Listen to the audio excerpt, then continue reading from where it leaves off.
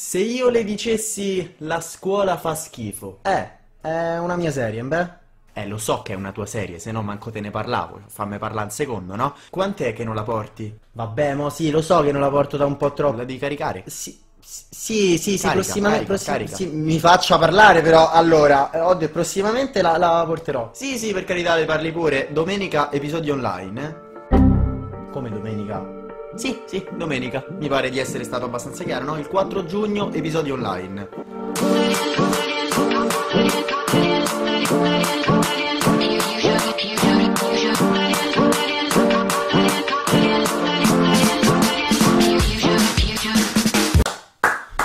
Grazie, grazie a tutti, grazie a tutti, gentilissimi, siete troppi. Eh, poi dopo montiamo l'applauso, eh?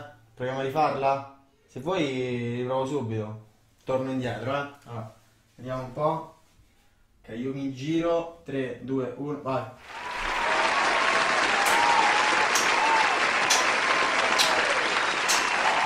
Eh sì, ok. Sono un coglione. Tra l'altro, essendoci 47 gradi oggi a Roma, io eviterei di fare il video in camicia. L'ho tenuta giustamente per l'intro perché è un momento, un momento delicato, un momento molto importante. Eh, però, dato che non vorrei che diventasse un video porno in cui faccio uno spogliarello, scusate un attimo, torno subito, eh. Oh, occhio e croce, così sto meglio. Sto- stiamo molto più freschi.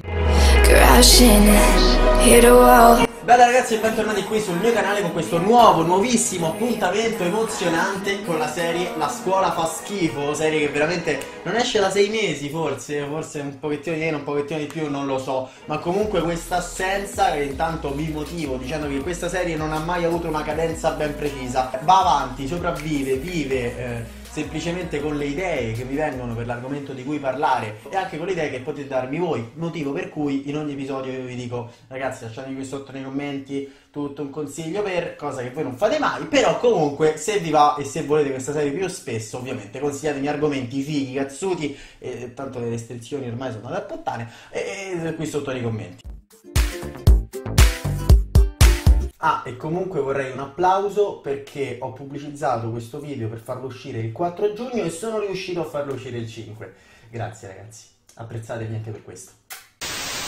Ma comunque, tornando a noi, in questo episodio, signori, io ho tante cose da dirvi, ma tante proprio, e il titolo è tutto un programma. Il mio rapporto con i prof. Il mio rapporto con i professori in generale non è per niente negativo, soprattutto negli ultimi anni, devo dire, perché comunque quando ero un po' più piccolino ah, tendevo un po' ad andare contro, a cercare la polemica, perché comunque sono fatto un po' così, non che adesso sia esattamente da così a così, però diciamo che non so né bianco né nero, sto in mezzo e quindi sono una persona equilibrata, diciamo, ok? Quindi rispetto a prima. E cosa importantissima, non mi fermo alla superficialità di quella che può essere il- la votazione, quindi il voto, ma vado oltre. E questo perché ci tengo a dirlo, più avanti nel video poi capirete. Perché io prendo sempre come esempio un ragazzo che dice sì, quel professore mi sta tanto simpatico, peraltro mette 10, non si fa un cazzo, bene.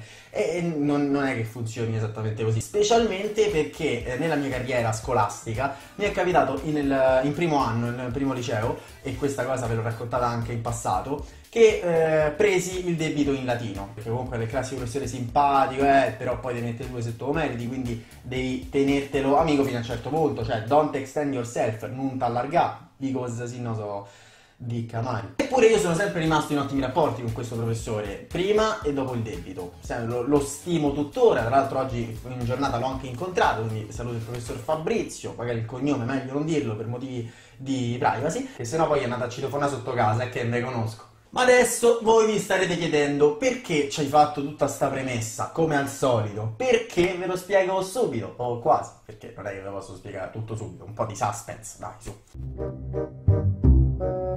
Quest'anno mi è successa una cosa che francamente non mi aspettavo. Adesso voi penserete, ecco, fa la parte di quello vissuto, se la sente calda. No, ragazzi, sono molto tranquillo, ve lo dico proprio. Anche perché so che magari chi di dovere starà guardando questo video o comunque indirettamente gli arriverà, quindi un saluto e un bacione. Eh, ma comunque, dato che non ho peli sulla lingua e dato che mi piace parlare sempre con voi, vi voglio raccontare questa esperienza che ho avuto anche nella seguente materia, latino. Ma figo perché è sempre il latino che succedono i casini. Il docente in questione è arrivato nella mia scuola lo scorso anno, quindi mi insegna latino da eh, due anni, questo è il secondo anno, e già dall'inizio, non mi piace fare parte della vittima, però già dall'inizio nei miei confronti, scherzando, ridendo, perché comunque sì, per chi mi conosce lo sa, io sono una persona che a volte può esagerare, però comunque mi reputo intanto una persona abbastanza equilibrata, e poi una persona sì, eh, mi piace stare allo scherzo e tutto quanto, ma poi c'è un limite, cioè se mi piace stare allo scherzo e poi a te sta cosa non ti sta bene, allora intanto magari me lo vieni a dire direttamente e non me lo fai arrivare con il tuo atteggiamento, no? Perché comunque siamo umani, il Signore qui presente ci ha dato la parola e quindi perché non parlare, prima cosa. Ma poi, eh, avendo capito che magari sopra un limite non potevo andarci, mi sono fermato e vi parlo questo sempre dello scorso anno. Chi non si è fermato è stato appunto il docente, che non ha ev- evidentemente capito eh, le- la mia o buona fede o comunque il mio stare al gioco. E quindi ha pensato bene di cominciare a farmelo capire da alcuni atteggiamenti negativissimi nei, nei miei confronti, anzi, dimolo, ma proprio trattato del merda. E questo poi uno ci fa caso, ok, ma lascia il tempo che trova, perché una persona matura può fare anche questo ragionamento. Per carità, noi siamo a scuola, ma in generale nel mondo ci sono persone che ti possono stare antipatiche, simpatiche, quindi il mondo è vario, è bello per questo. Può anche capitare che a volte ci siano delle incomprensioni, no? Quindi non, ci si spiega e si va a discutere, a litigare per questo. Fatto sta che col passare del tempo, oltre al fatto che sì, eh, io sono partito molto in quinta, giusto o sbagliato che sia, ho preso le mie distanze, ma da persona comunque tranquilla, nel senso non ho più rotto le palle, che magari il mio atteggiamento scherzoso poteva sembrare una rottura di palle nei, nei suoi confronti e quindi niente, ho a fare la mia vita tranquillamente, tenendo però quel- quella parolina che io chiamo rispetto, non so se la conoscete, e coerenza soprattutto, quindi eh, quando sia che studiavo sia che non studiavo mi rapportavo in un modo rispettoso, parlando sempre, ma ve lo dico tranquillamente perché io ho sempre avuto, ecco mi ricollego al discorso iniziale del video, un rapporto molto eh, diretto, tranquillo, trasparente, ecco, non mi viene il termine con i professori, lo ho tuttora, eh, la maggior parte se non tutti i professori che ho sanno di YouTube, per carità YouTube è una cosa che deve essere un contorno, la scuola è fondamentale, però io non ho problemi anche a parlare, a esprimermi, ad aprirmi, e cosa che purtroppo, soprattutto nel caso di questa docente, che eh, mi dispiace ma sempre, sempre lei al centro di tutto, non, non- non- non è arrivata, non è arrivata in modo positivo, non è stata molto corretta per così dire, dai.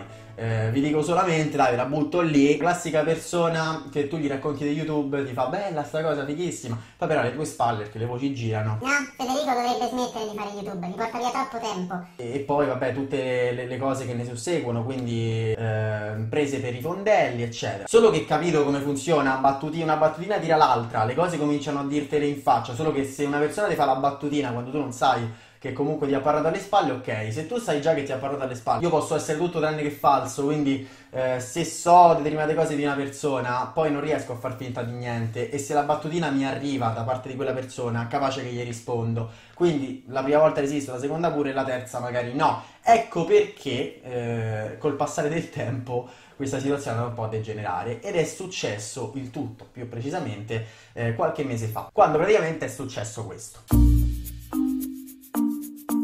Mercoledì. Prof, mi scusi, posso rubarle un minuto? Sì, Marconi, dimmi. Senta, io dovrei venire in latino. Eh, venerdì andrebbe bene, faccio il massimo per prepararmi? Mm,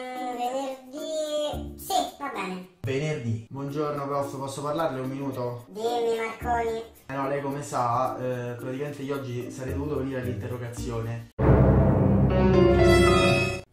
tu vieni. Ah, sì, mi- mi faccia parlare un secondo. Ho avuto un imprevisto. Non me ne frega niente, se non vieni ti prendi te. Prof, le dico che ho avuto un imprevisto, mi, mi faccia parlare.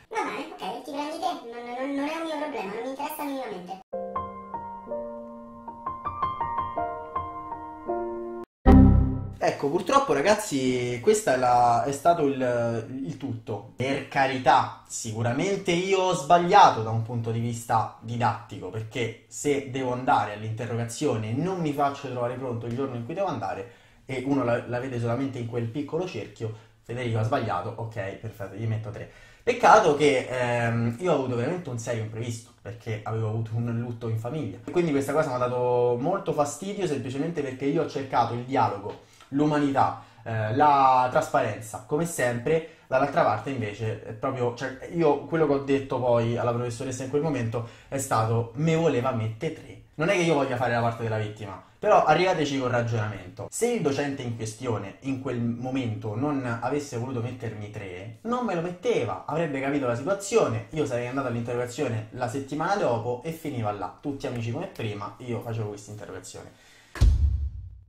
Quindi mettiamoci questo più l'anno e mezzo precedente a quel 3, perché poi la persona molto matura eh, mi è arrivata a rinfacciare il fatto eh ma tu stai rosicando perché ti ho messo 3. A me del 3 non me ne frega un cazzo, non hai capito? Cioè nel senso è chiaro che poi se ne mettevi 8 era un'altra cosa, però io non mi, non mi soffermo su quello. E il fatto che tu non l'abbia ancora capito dopo un anno e mezzo, oltre a renderti una persona piccola, evidentemente meno intelligente e sveglia del- di quello che pensi tu, mi dà ancora più fastidio. E alla luce di tutto questo voi state pensando, che è successo dopo? Allora, è successo che io mi sono ritrovato ad aprile, al pagellino di metà quadrimestre, con un 4 in latino. Con un 4 in latino, comunque sì, per quanto riguarda le medie, e considerati i 3 e tutto quanto, ci sta, la media era quella. Da qui la situazione, almeno dal punto di vista didattico, è cambiata e come, nel senso che sono arrivati praticamente 3-8 e un 6 meno in un compito in classe, 3-8 in tre interrogazioni. Il problema poi non è tanto questo, ragazzi, il problema è che eh,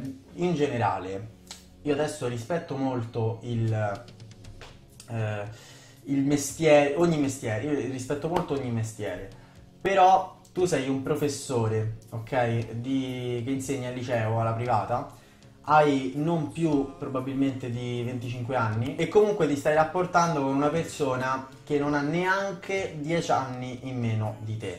Una persona che comunque si ritiene matura ma che si comporta in modo maturo nei tuoi confronti, cerca di eh, andare a fare determinati ragionamenti che però evidentemente non, non ti competono. E la cosa che più mi dà fastidio è che ehm, se si limitasse ad un non sono d'accordo con te, cioè dal suo punto di vista, non sono d'accordo con te, va bene, al limite non ti sopporto, non ci parliamo e va bene, finisse lì ok. Il problema è che molto spesso la famosa penna, quante volte eh, i vostri genitori hanno detto sì sì, tu avevi anche ragione nei confronti dei professori, però loro hanno la penna.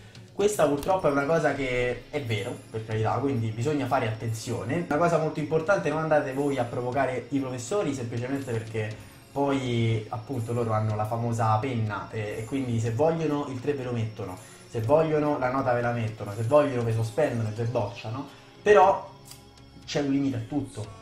Eh, perché sennò poi andiamo a, a parlare de- del famoso abuso di potere, no? cioè è, è quello il concetto. Se tu, perché hai una cazzo passato in termini di penna e sei da quell'altra parte della cattedra, pensi di poterti permettere di, di trattare come un pezzo di merda me o chi di dovere, qualunque perché no, io non parlo solamente di me, gli atteggiamenti che ho visto nei confronti della classe in generale eh, di, da parte di questo docente quest'anno sono stati veramente pessimi. Quindi se tu non ce la fai, non hai abbastanza pazienza per un determinato mestiere che concerne il fatto di doverti rapportare con delle persone più piccole, no, ma comunque con degli alunni, se non gliela fai, cambia lavoro, non ci vuole tanto. Quello che ho sempre detto io, per carità, ci vuole tanta pazienza, i professori vanno capiti e quello che vi pare, ma non ti ha obbligato nessuno a fare questo mestiere, ok? E fidati che quella che tu ritieni la classe proprio peggiore che hai mai, a cui hai mai insegnato, in confronto ad altre, è la più tranquilla. Find it easy.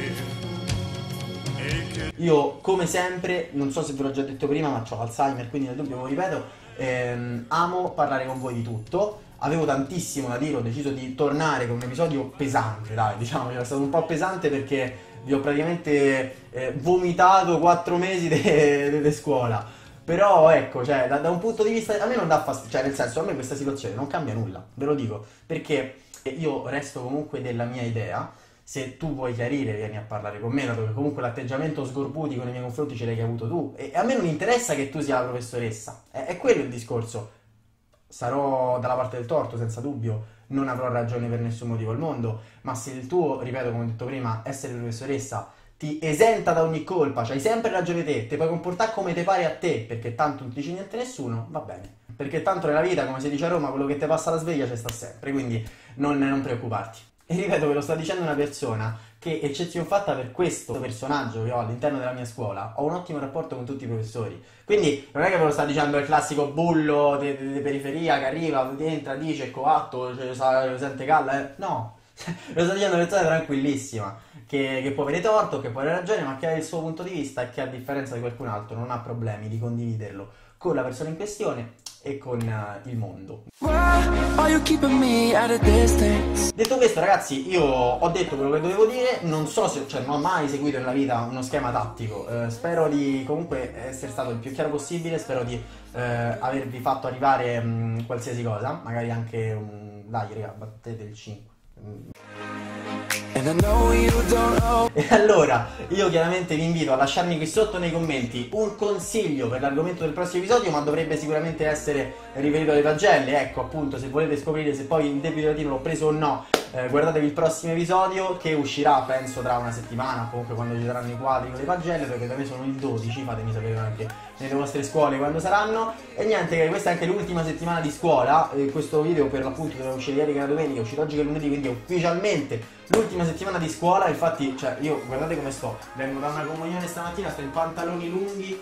Prima c'avevo pure la camicia, era vera, eh, cioè non mi ero cambiato, tornato così dalla comunione, quindi sono un po' in difficoltà motoria. Però ve voglio bene, vi mando un bacione, noi ci becchiamo ai prossimi video. Bella raga.